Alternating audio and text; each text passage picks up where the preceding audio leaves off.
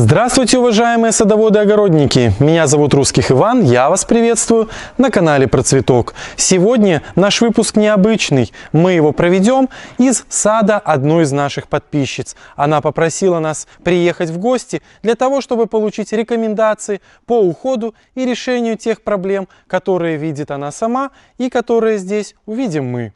Пойдемте.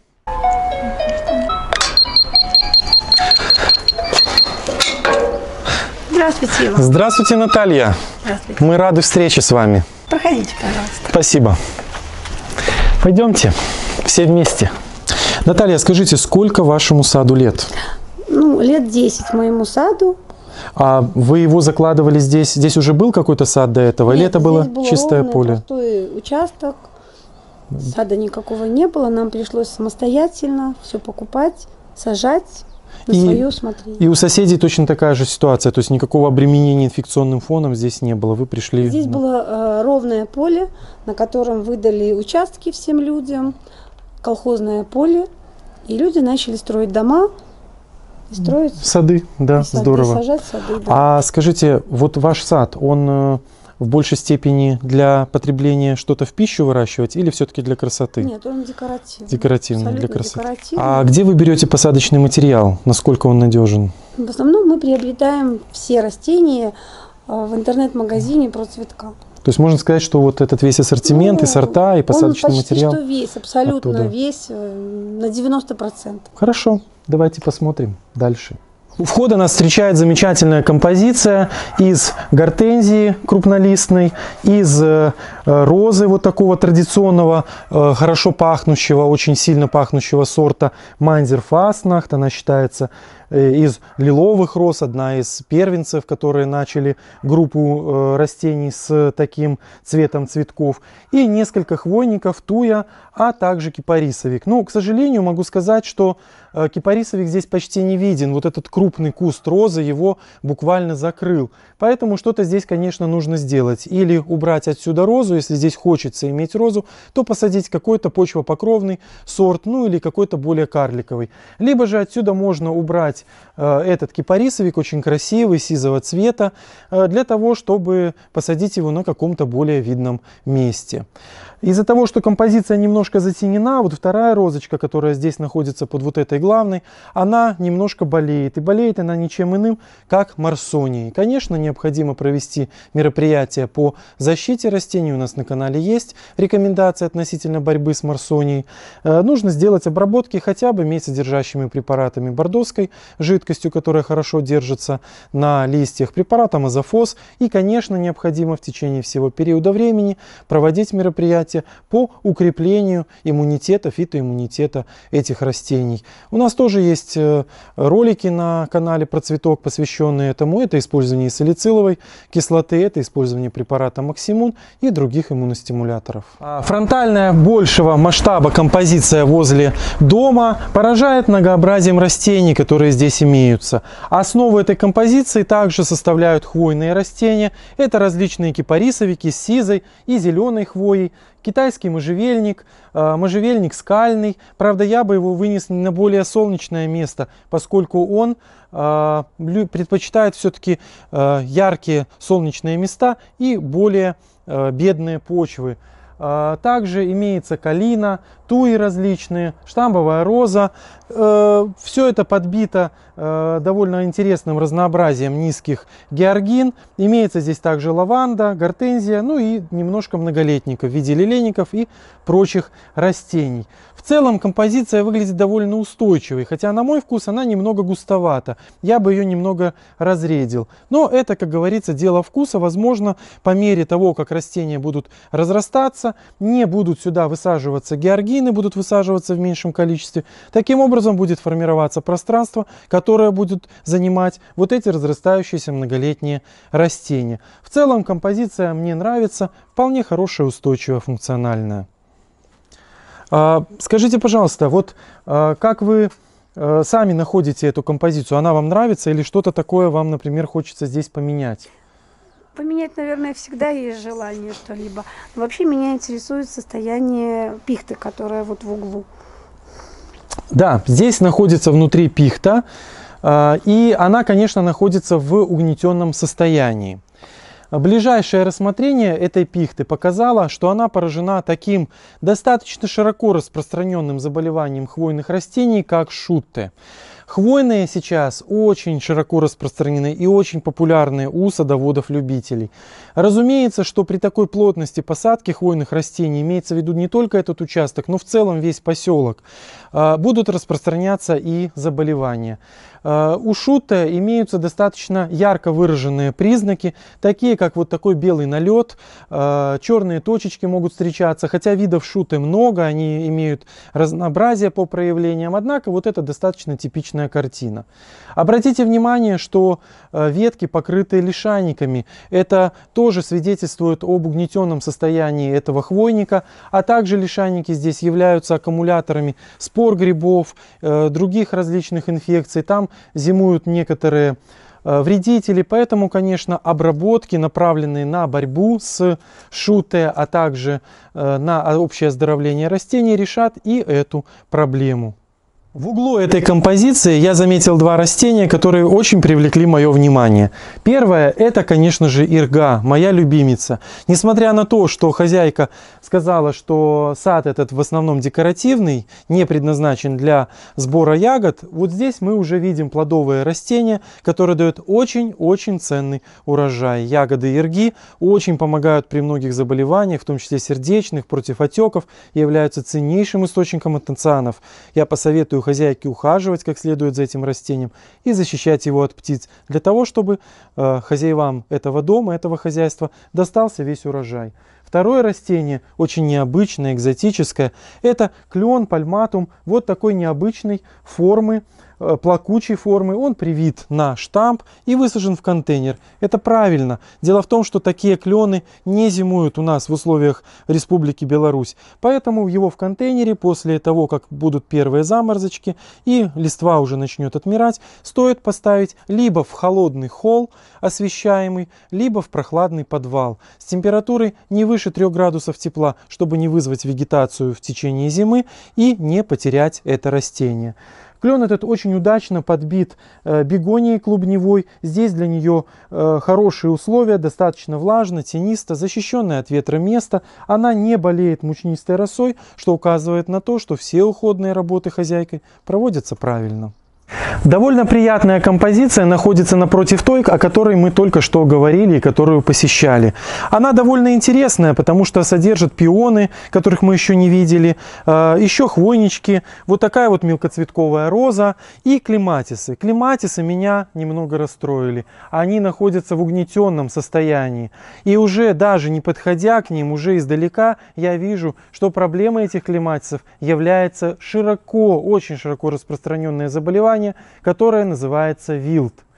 К сожалению, это заболевание относится не только к клематисам, но и к пионам, которые здесь соседствуют. Вызывает это заболевание грипп вертицилум, и у пиона это заболевание называется вертицилез.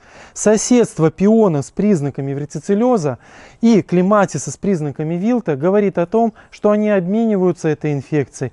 И нужно либо проводить очень жесткие мероприятия по защите и тех, и других от этих болезней, либо кого-то из них убирать, потому что кто-то заражает другого и бороться уже на расстоянии. В этом случае, э, возможно, верцицелез не придет на клематис. Скорее всего, он пришел сюда от взрослых пионов. Э, клематис здесь посажен молодой, был без признаков каких-либо заболеваний. Но на второй-третий год после посадки, к сожалению, угнетается. И одна за другой посадка дают аналогичный результат. Точно такую же картину мы увидели по клематису не только в этой зоне озеленения, но и в других местах местах на этом участке. Это свидетельствует о том, что инфекционный фон вертицеллеза очень высокий и обязательно на всем участке необходимо провести мероприятие по защите от этого опасного заболевания. Препараты на основе сенной палочки, а также мульчирование почвы с добавлением препаратов триходермы в полной мере решит эту проблему. Но она может быть решена эффективно только тогда, когда все растения на участке будут подвергаться этим обработкам.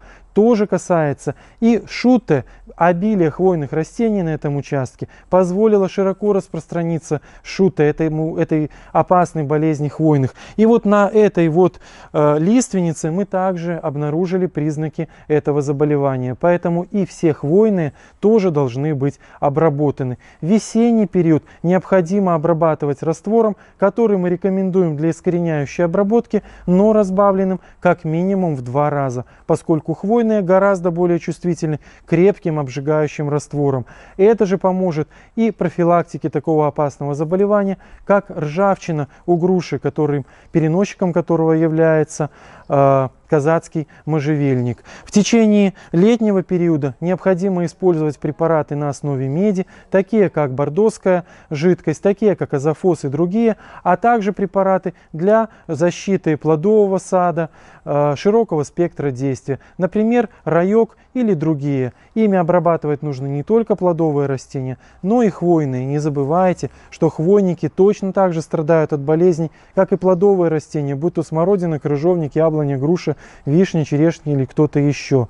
А, они также требуют ухода, подкормки и защиты от болезней и вредителей. В одном из уголков сада я обнаружил целую коллекцию превосходнейших кал. Эти тропические растения довольно необычно смотрятся на цветниках нашей умеренной зоны. Однако все более и более популярны Популярность они завоевывают благодаря разнообразию фактур цветка, листа, различной окраски, благодаря чему можно создать великолепные композиции из этих клубневых растений. Сохранять клубни кал не сложнее, чем клубни кан. Они выкапываются по осени, подсушиваются и хранятся в сухом прохладном месте. Не допускается их полное высыхание, поэтому присыпать э, небольшим количеством опилок, смоченных в препаратах триходермы или сеной палочки будет очень и очень хорошо. Эти калы также могут высаживаться в горшки и переноситься на зимний период на подоконник. Это можно сделать в горшках, в ящиках и выставляться они должны на самые светлые подоконники, поскольку зимой света у нас в окнах не так уж и много. Однако перезимовывают они достаточно хорошо. При этом нужно помнить, что незадолго до высадки в открытый грунт им необходимо сделать период покоя. Нужно перестать их поливать, дождаться отмирания листьев и подержать их в таком состоянии примерно месяц, после чего клубни можно высаживать снова по весне, когда минут угрозы заморозков, в открытый грунт и наслаждаться их пышным и очень необычным цветением. В этом уголке замечательного сада прекрасно себя чувствует гортензия. Это уже крупный экземпляр с очень пышным цветением. Цветков, э, соцветий вот этих больше, чем э, листьев. Выглядит она просто великолепно. Э, местоположение для этой гортензии было выбрано очень удачно. По соседству крупная туя, такая как зебра окрашенная, очень красивая. Э, с этой стороны ива, уголочек здесь довольно тенистый. Это как раз то, что любит эта гортензия. Э, участок не пересыхающий благодаря тенистому местоположению. Гортензия любит э, немножко избыточное увлажнение и совершенно не переносит засуху. В Беларуси у нас в целом кисловатые почвы, но а гортензия в принципе предпочитает кисловатые почвы. Здесь хозяйкой не проводились мероприятия по нейтрализации кислотности, не вносились известковые удобрения. И это очень правильно.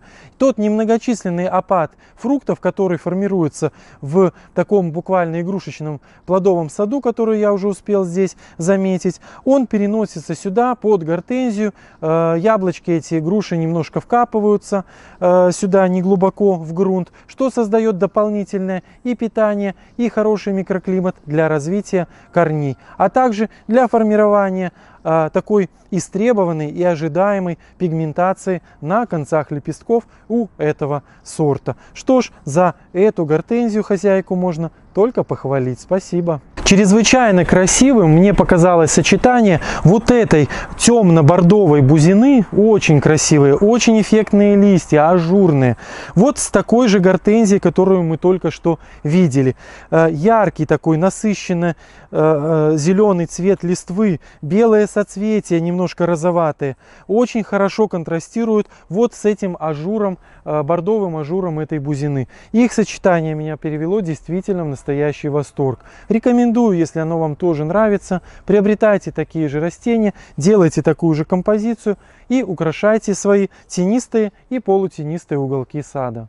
Одной из проблем начинающих или не совсем опытных садоводов является не масштабирование растений при посадке. Они не очень понимают, какими будут растения, когда достигнут взрослого состояния. Вот здесь мы видим типичную картину, когда растения туи были маленькие, небольшенькие, были посажены по обе стороны э, дорожки, которой заканчивается лестница. И буквально на расстоянии 30 сантиметров от края дорожки были высажены туи.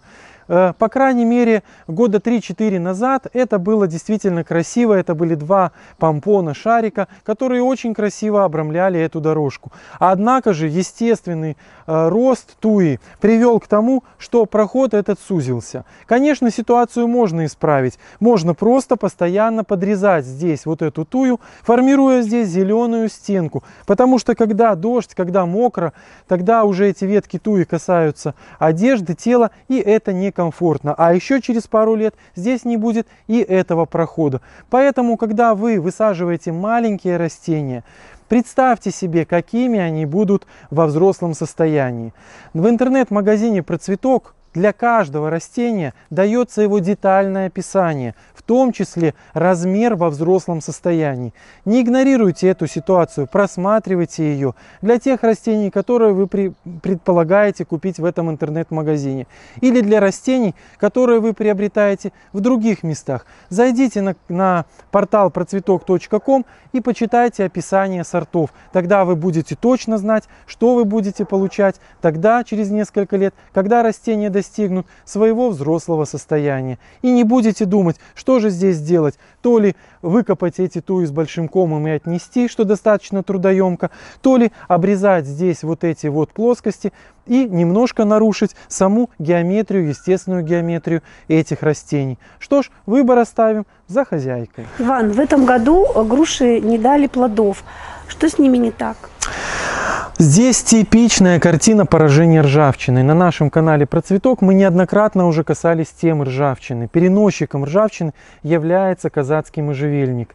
И, конечно, вы не справитесь с этой проблемой, если все ваши соседи не будут одновременно бороться и на можжевельнике, обработкой можжевельников заниматься, и обработкой груш. Для того, чтобы груши не болели, нужно, конечно, проделывать и искореняющую обработку, и в течение вегетационного периода работать препаратами на основе меди и такими препаратами, как райок и другими.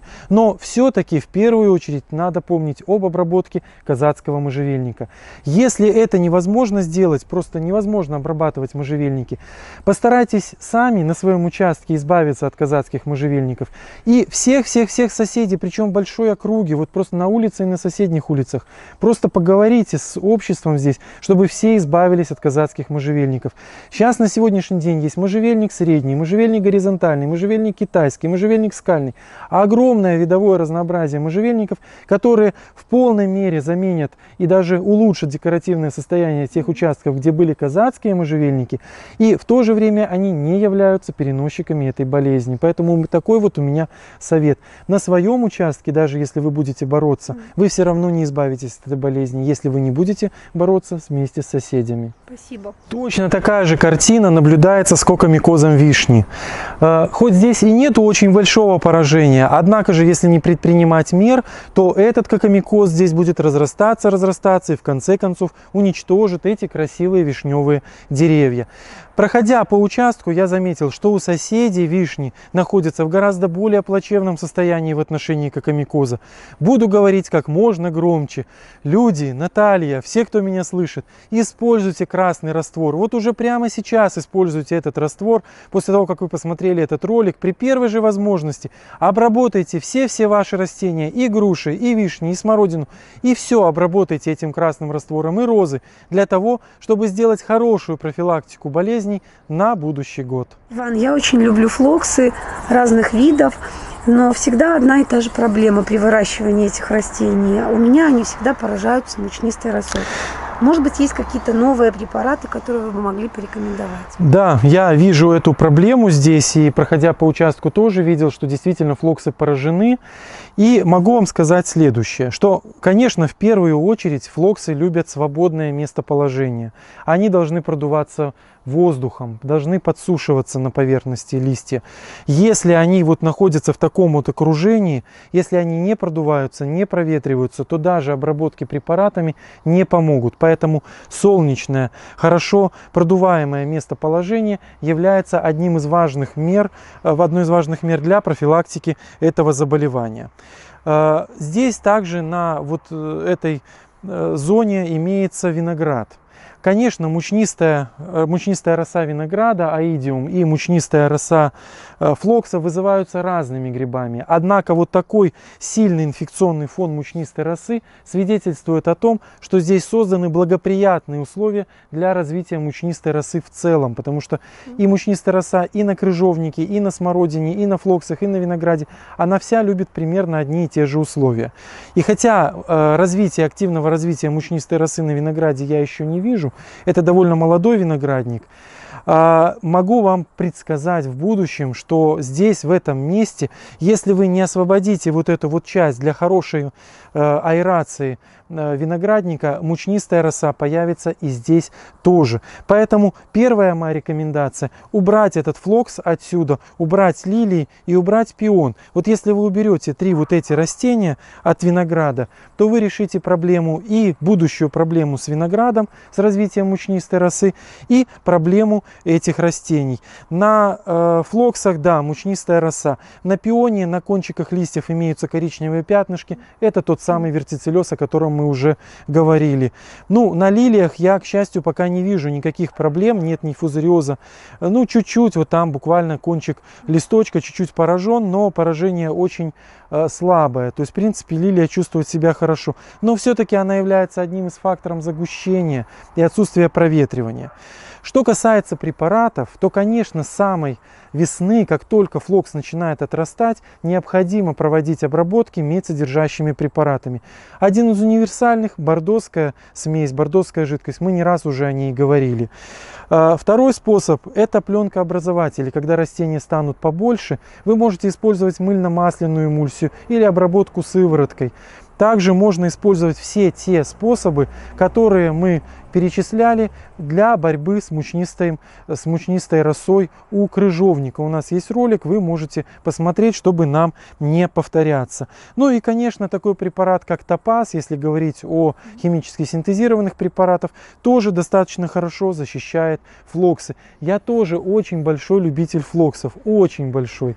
И э, как никто знаю эту проблему. И вот если вы выполните эти условия, конечно, хорошие подкормки, конечно, мульчирование э, мульчой с обработкой триходермой. Безусловно, все, о чем я сказал, надо чередовать с внесением э, сенной палочки. Сенная палочка не боится медсодержащих препаратов. Вот триходерма, антагрипп, она боится.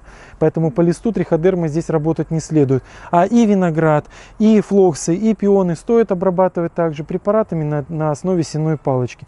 Вот чередование всех этих способов поможет вам надолго забыть об этом и многих других заболеваниях. Спасибо. С хозяйкой участка мы забрели вот к этой замечательной рябине. Ягоды настолько вкусные, ну рябина сортовая, еще никаких заморозков, конечно, в помине нету, август, но плоды уже очень вкусные. Я просто ем, не могу остановиться, ароматные, вкусные. Они превосходно подходят для приготовления домашнего уксуса. Однако и на рябине я заметил одну распространенную проблему плодовых растений, а именно манилиоз – Типичные поражения точно такие же, как характерны, например, для яблок. Поэтому, конечно, и рябина требует здесь ухода и искореняющих обработок весной и осенью, и всего объема профилактических мероприятий, направленных на избавление от этого заболевания. Стоит помнить, что манилиоз э, заселяется в завязи во время цветения, поэтому перед цветением, до распуска цветков, растения должны быть обязательно обработаны. Покидая этот гостеприимный сад, я увидел еще одну проблему, а именно бактериальный ожог на растениях сирени. Для сирени это одна из наиболее часто встречающихся болезней и проблем, которая может э, привести к полной потере этого ценного декоративного растения. С бактериальным ожогом, кроме как биологическими средствами защиты, такими как бактоген, максимун, различными препаратами на основе сеной палочки, и побороться ничем другим просто невозможно. Но лучше всего не допустить это заболевание. Как же получилось, что эта сирень здесь заболела? И, между прочим, на некоторых других сиренях на этом участке я тоже уже заметил признаки этой болезни. Растения эти являются ослабленными, с ослабленным иммунитетом, поэтому болезнь сюда напала, а иммунитет у этих растений ослабился по причине неправильной посадки. К сожалению, при посадке яма была сделана слишком глубокой, и вместо того, чтобы посадить растение, вероятно, из контейнера, немножечко выше, как бы на холмике того уровня, э, когда корневая шейка была на уровне с горшком, надо было посадить чуть-чуть выше – Хозяйка, вероятнее всего, заглубила корневую шейку, выкопала большую яму, поставила на дно э, ком вот этот э, корней, который вынула из контейнера, и засыпала. Это хорошо видно, потому что здесь должна быть развилка видна, на две ветви э, было сформировано растение, однако эта развилка оказалась под землей. Многие плодовые растения и декоративные лиственные деревья, в отличие от хвойных, совершенно не переносят заглубление корневой шейки. Что ж, я могу здесь дать только такую рекомендацию.